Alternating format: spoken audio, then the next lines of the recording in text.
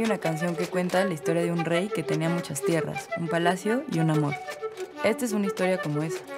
Nada más que el rey no es rey, es reina, y se llama Graciela Esperanza.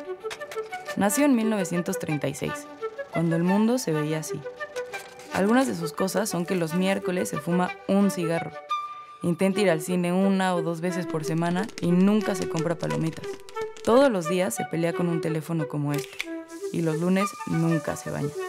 Cuando era chica, pensaba que mi abuela siempre estaba de buen humor. Y este año descubrí que no.